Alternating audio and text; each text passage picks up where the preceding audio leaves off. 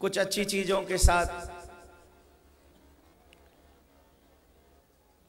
जीवन में बहुत महत्वपूर्ण है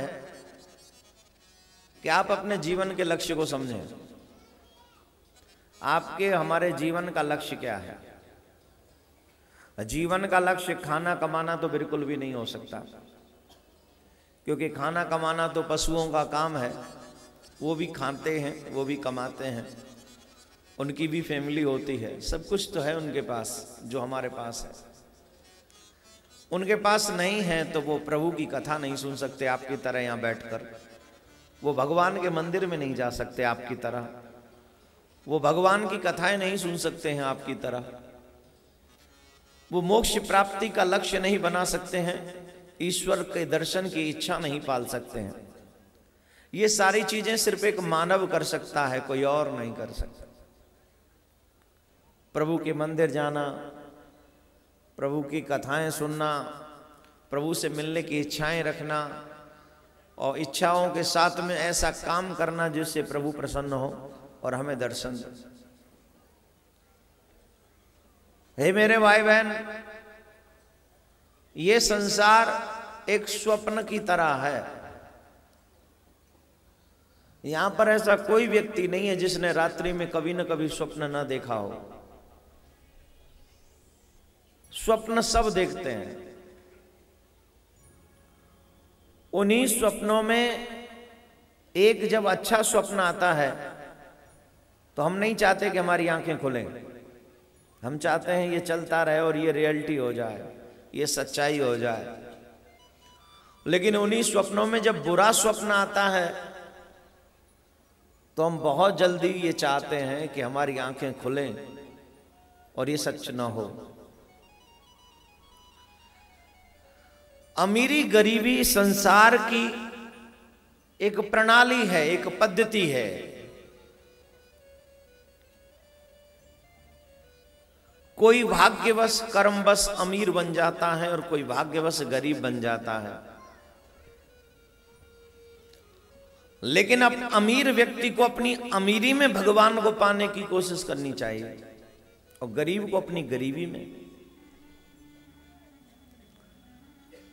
अमीर लोग तो ये कह के छूट जाते हैं कि हम कहाँ से भजन करें, हम पे तो टाइम ही नहीं है। हम कैसे कथा सुन सकते हैं? हमारे पास तो टाइम ही नहीं, हम तो व्यस्त बहुत हैं। और गरीब ये कह के छूट जाते हैं, महाराज, पेट भरने का सिस्टम ढूंढे कि तुम्हारा धर्म करें। इससे अमीर भी नरक में चले गए और गरीब भी नरक में चले गए।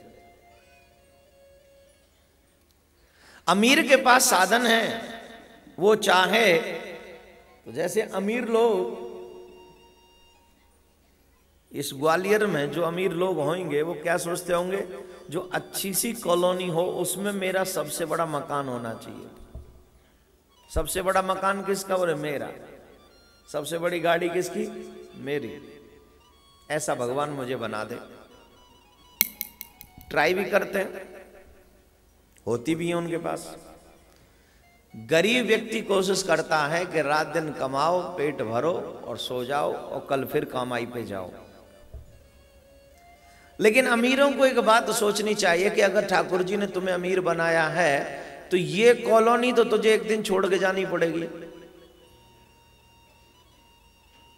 और अगर आदमी मर जाए तो ये जो लंबी गाड़ी है, इस लंबी गाड़ी में कोई ले जाने वाला नहीं है इसे। ले जाएगा। मेरे बाबूजी को ये फेवरेट गाड़ी थी, बड़ी लंबी, बड़े शौक से खरीदी थी। बाबूजी मर गए तो चलो शमशान तक इस गाड़ी में ले जाएँ। इज़ इट पॉसिबल हॉस्पिटल से भी एंबुलेंस में लाते हैं। और शमशान दूर हो तो आजकल वो मुर्दों को ले जाने वाली गाड़ियाँ आ गई हैं, उसमें ले जाते हैं। हाँ जी कि ना जी, ये तो आपको बताना पड़ेगा। लठ क्यों मार रहे हो यार? प्यार से बोलो। हाँ जी। धमकी दे रहे हो? मैं कितने प्यार से पूछ रहा हूँ, मरने वाली बात कर रहा हूँ, जिसमें चिता को देख के तो बड़े बड़ों को ज्ञान हो जाता है। सच्चा ज्ञान आदमी को कहाँ होता है शमशान में जब कोई चिता जलती है ना हमारी आँखों के आगे, तब पता चलता है, यार, इसकी तरह तो मुझे भी जलना है एक दिन। तो मेरे ये सब किस काम का? है लेकिन दुर्भाग्य है कि हम उस ज्ञान को हमेशा नहीं बना पाते हैं, बस थोड़ी देर आता है और छूट जाता है। ये दुर्भाग्य है। सबसे बड़ा ज्ञान है शमशान में कि जब सबको मरना ही है और ऐसे ही जलना है तो फिर किस काम का है? अच्छा तुम लोग जितने भी यहाँ बैठे हो, मुझे छोड़ गए। मुझे तो छोड़ना पड़ेगा फ़िलहाल।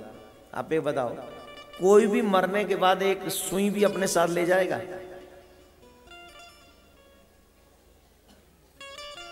हमारे बीच में महापौर जी बैठी हैं। महापौर जी भी शायद नहीं ले जाएँगे। सुई भी, न जजमान ले जाएगा, न महाराज भी ले जा मैं अपनी भी कह रहा हूँ। ले जाएँगे हम, ले जाएँगे? कोई ले जा सकता है? इसके बावजूद पूरी ज़िंदगी किसमें लगा दिया हमने?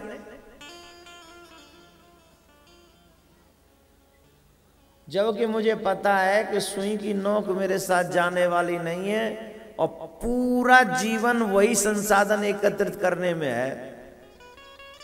तेरे पास टीवी सेट है, तेरे पास सोफा सेट है, तेरे पास मोबाइल सेट है, तेरे पास में ये सेट है तेरे साथ में वो सेट है, तेरे पास में ये वो सब सेट है, उसके बावजूद भी तू इतना बड़ा अपसेट है।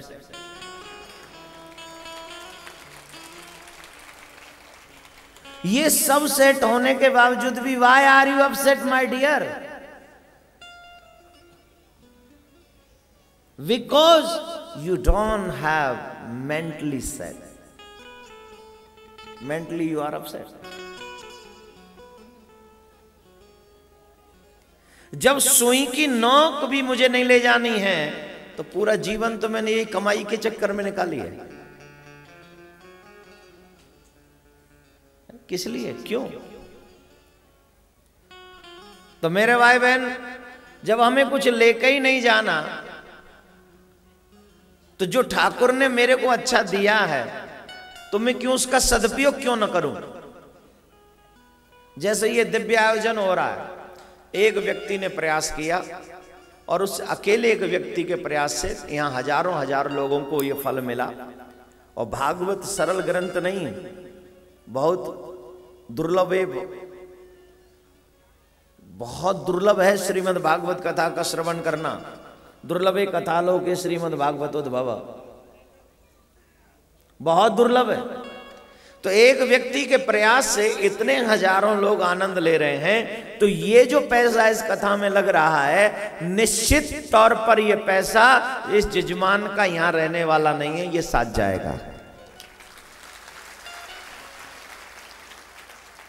ये साथ जाएगा। इवन आपका जो पैसा खर्चा हुआ है, डीजल, पेट्रोल में, आने में, किराए, भाड़े में, जो भी, फ्री में तो नहीं आया पैदल चल के आए, वो एक अलग विषय है। लेकिन जो पैदल वो चल के आए वाहनों में, रिक्शे में थ्री व्हीलर में, गाड़ी में तो उसमें जितना भी पैसा आपका खर्चा हुआ है, वो पैसा भी यहाँ रहने वाला नहीं, वो पैसा भी आपके साथ जाने वाला।